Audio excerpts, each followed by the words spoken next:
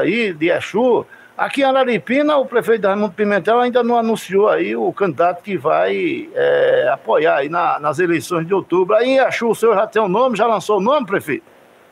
Já, já, nosso grupo aqui, não só eu, apoia o pré-candidato Júnior Pinto, um vereador de quatro mandatos, quatro mandatos, quatro vezes bem, né, votado, mais votado da, do Exu, já tem a história, já foi secretário, já tem um, know-how aí que capacita ele para nos substituir. E o senhor vai fazer o que agora? Vai ficar só como presidente do CISAP? Ainda pensa seguir na vida política? Como é? É, no momento agora eu preciso descansar. Vou terminar aí meu mandato como presidente do CISAP, que finaliza também em dezembro de 24. Até lá a gente tem uma missão com o CISAP e com o Exu de fazer o melhor possível para nosso povo. E aí tirar umas férias de um mês e voltar, já que eu sou professor, já volto ativo aí em fevereiro de 2025. Tá certo, mas ainda vai seguir na vida política, né? Ou, ou parou de vez? É, não, estamos tá, tá à disposição. O futuro a Deus pertence. Tá Vamos certo. aguardar quais são os desígnios aí pra gente. Mas no momento preciso dar uma descansada. Ano pegado direto aqui em Exu é pesado. É, é, mas aí o senhor acha que fez aí um bom trabalho, a sua avaliação? O povo de Exu está satisfeito com a, com a sua gestão durante esse, esses anos?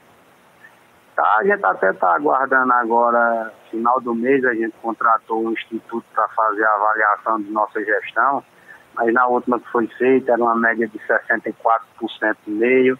Aqui em Exu é bem diferente de outros lugares, aqui é muito polarizado devido à história política né, dos últimos anos. A gente aqui tem, é praticamente um município dividido. Você chegar a 65% de avaliação aqui em Exu é, é, é um número expressivo. Onde em outros municípios é normal você chegar a 80, a 70, aqui quando você chega em 65 você já está de, de, de, parabéns. A gente, é. graças a Deus, vai deixar marcas aí em todos os distritos, bairros, zona rural, vamos deixando muita coisa boa aí para que o trabalho que venha à frente seja tão bom quanto o nosso ou melhor, né? A gente só pensa em, em avançar. Agora, é, prefeito, para fechar aí, né? A Chu teve aí no passado é, eleições, como você mesmo disse, polarizada, mas também com, com violência, né? Esse tempo da violência aí já passou, né? Agora é só na garganta e, e também nas realizações de ações. Graças a Deus a gente torce que permaneça assim, apesar da polarização, que muito vem dessas dessas coisas do passado aí, de, de, de, disputas até, em brigas, em questões. É, essa polarização vem muito disso, né? mas vem as, as novas gerações, vem fazendo um, um, um, enfrentamento a isso e dando exemplo, né? Não se envolvendo, não indo para essa parte, indo na discussão de ideias, de projetos, de ações, analisando a vida e a trajetória de cada candidato, é assim que se faz a política, né? E o povo, a maioria decide. E isso vem sendo respeitado, graças a Deus. Graças a Deus. Obrigado aí ao prefeito de Exu, Raimundinho Saraiva, presidente do CISAP também, pela atenção, a gentileza de sempre. Parabenizo aí pelo trabalho, né? 65% realmente é um número significativo.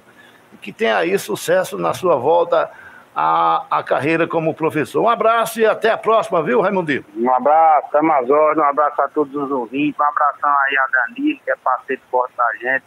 Desculpa a pressa aí, até atropelei os cumprimentos aí, Danilo. Parabéns, ao mesmo tempo que eu parabenizo também ele agora que galgou mais esse degrau aí na vida, né, dentro do Sebrae. Esse, o Sebrae é o maior parceiro é, de Comexu, né, como prefeito de Exu, é o maior parceiro nosso aqui nas ações. E como CISAC também, se não fosse o SEBRAE, se não tivesse tido esses contatos para a gente conseguir trazer aquele consultor para fazer o sim sair do papel, Danilo, a gente não estaria hoje num momento histórico, num dia histórico, mais tarde lá em Oricuri, fazendo também essas entregas dos selos, mostrando que o projeto deu certo.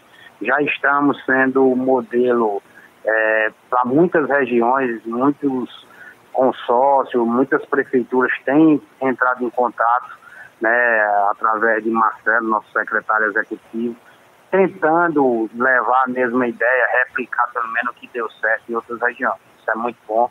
Eu agradeço a Danilo. Lembrando também que a gente vai estar entregando hoje uma picape 4x4 já para essa equipe do Sim, mesmo em tempo de chuva, em ladeira, seja lá o que for, não parar pelo caminho e conseguir concluir os trabalhos dele. A gente vai estar entregando elas 207 quilômetros hoje também à tarde lá em Oricuri. Que beleza. Um abraço, prefeito. Tudo de bom. Um abraço. Tchau. Agora, 8h30.